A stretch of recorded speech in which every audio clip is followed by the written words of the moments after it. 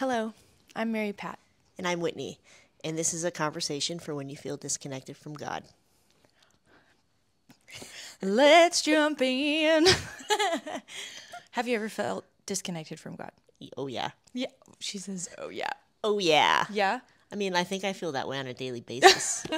like, to some degree, you know? Facts. I don't know.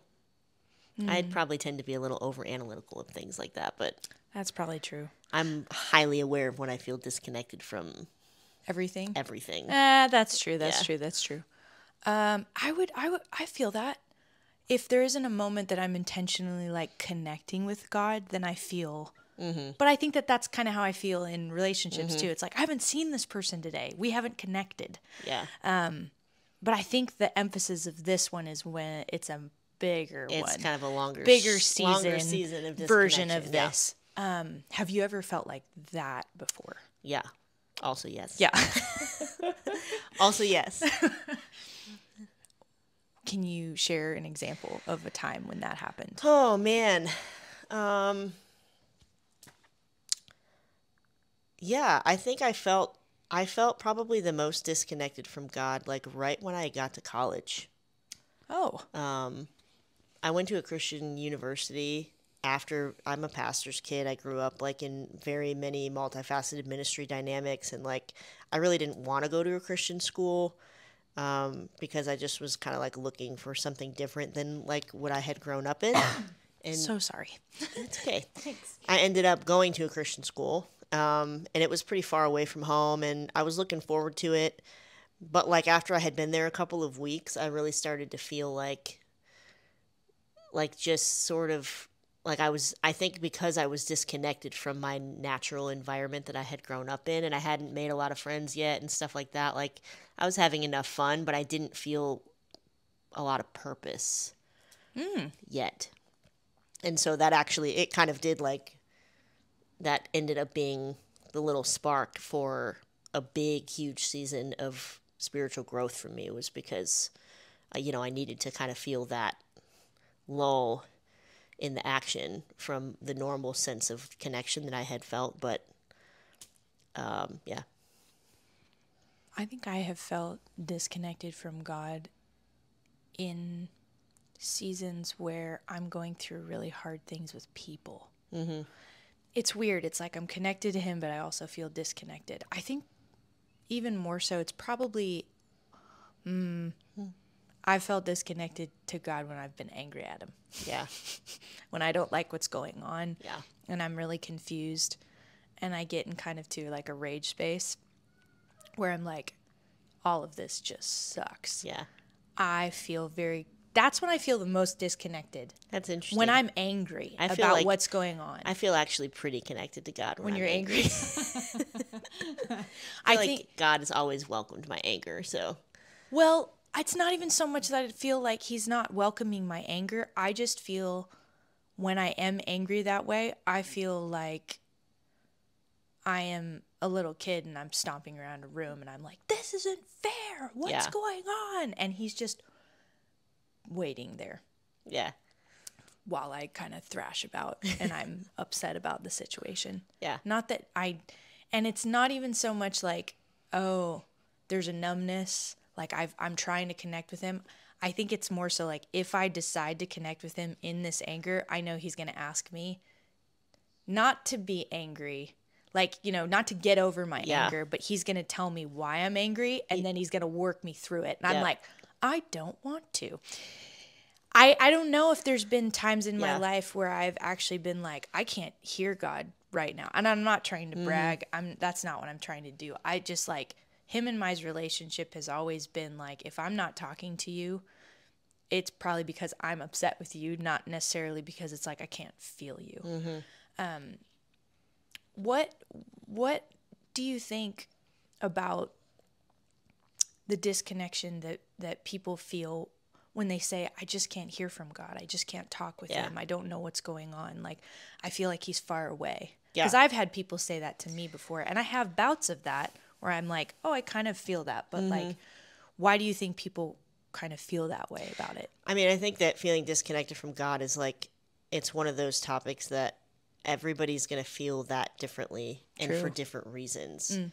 And so it's kind of there's not really like an emotional thumbprint for feeling disconnected from God because I think that it comes up from so many different situations, seasons, like mm.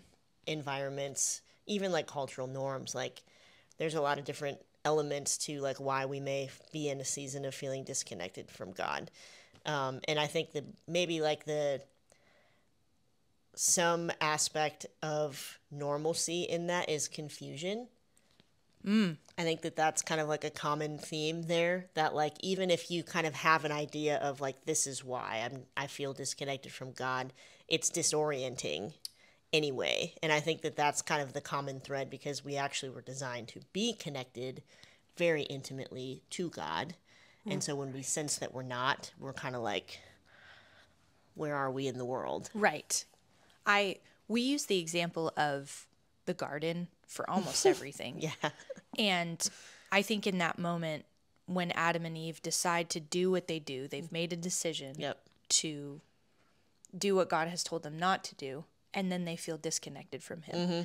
And then in their shame, they go to run away to be even more disconnected with Him. And then God walks around going, Hey, we haven't connected in a while. Mm-hmm. Where are you? Right. and you know adam and eve basically lay out their story in front of him but it's interesting to me that like that is their point of disconnection and then out of that disconnection at the very beginning it has caused the rest of humankind All the other disconnections you can possibly think of. exactly exactly Yeah. Yeah, so I think it's important to like when we're feeling this way, there's like a couple of different, you know, that confusion and disorientation kind of creates like I don't know how to how to reaccess this and and truly like having a relationship with God is just like anything else. Like you don't always feel the way that you want to feel. So this is not so much mm. about you know, oh, I like I need to always be like up like in some euphoric state of existence with Jesus. Like there's an ebb there's a flow there's an ebb and flow to it. Like sometimes it is mundane and just like being in a relationship with a person, like it's not always fun. Like there are aspects to it that are difficult or sometimes just kind of like every day and not that big of a deal. Mm-hmm. So this is less of a less of like a I don't feel anything, you know, like very sensory when I think about God, but more like there's something broken or fragmented um, that's kind of creating this perpetual sense of like there's space between me and God that I can't overcome.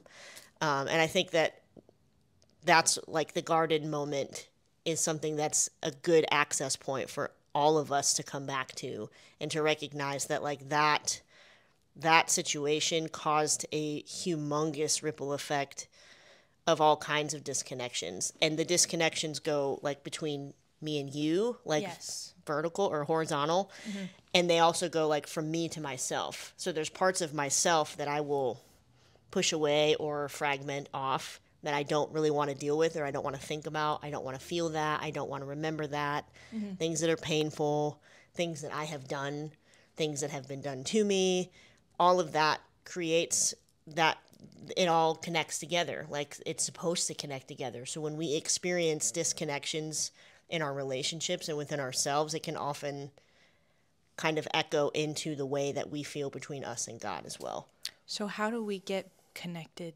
back to god Hmm. this is going to sound like so rudimentary, I think, because it actually is. Um, but again, if you go back to the garden, God, the thing that initially was like the most intimate moment, like really in human history between the divine and us, was God putting his breath inside of us.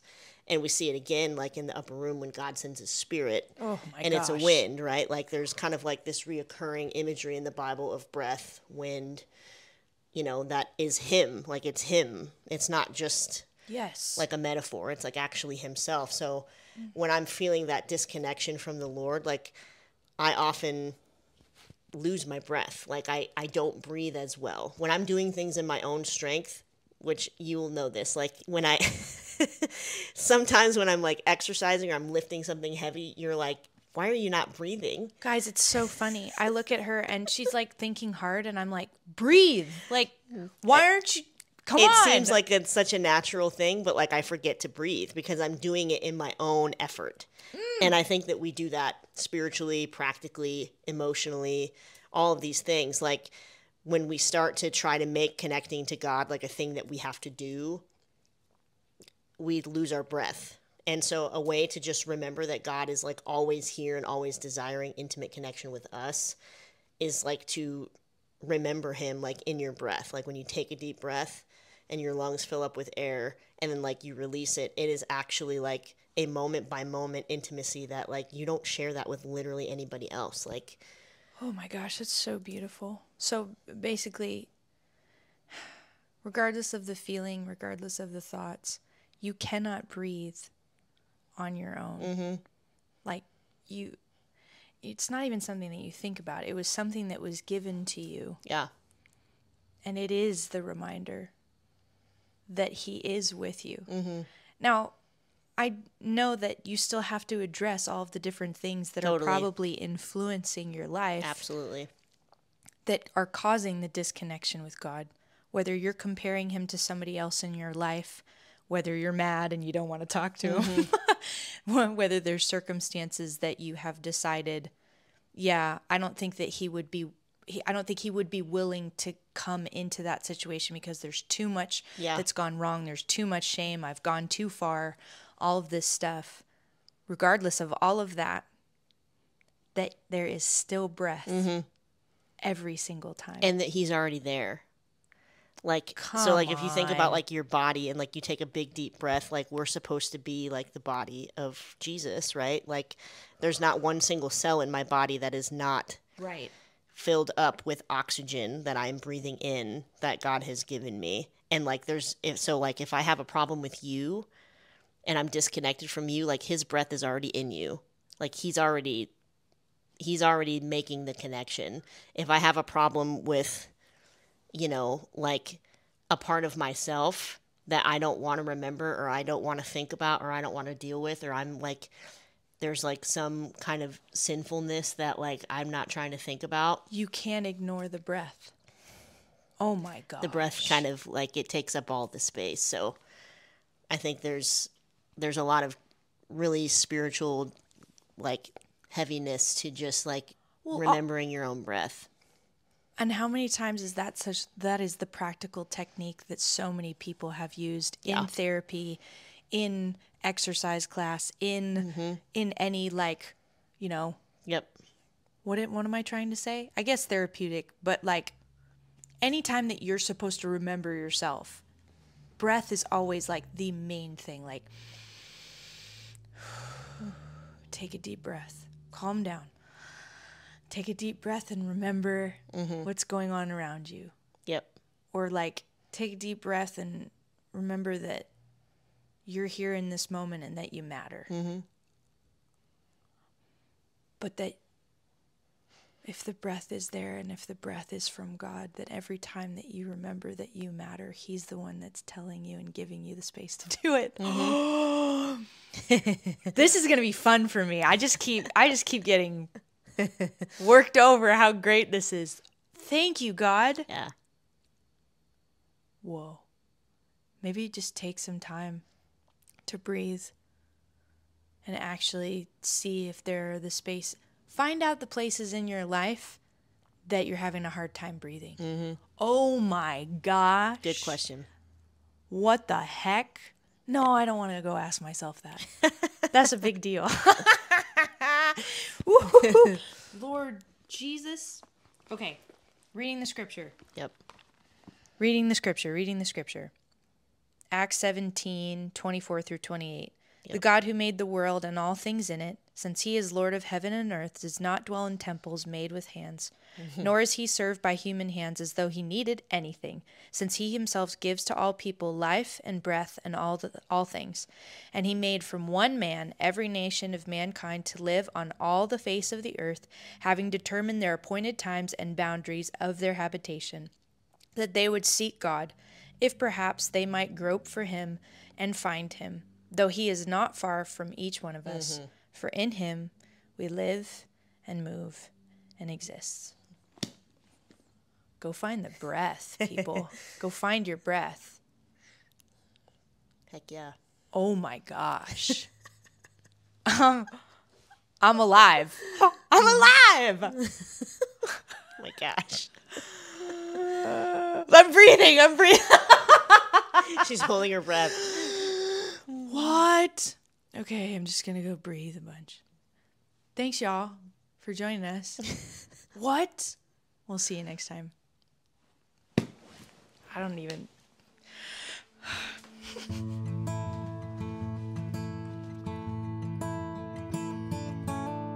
Thank you so much for joining us today. This video is a resource of Water Within Ministries. Please like this video and subscribe to our channel. We have many other videos just like this one, such as conversation videos, prayer videos, music videos, and much more that we would like to share with you. If you would like to contribute to the work of Water Within Ministries, head over to our website, waterwithinministries.com backslash donate, and become a monthly donor today. Thank you so much. God bless you, and we will see you next time.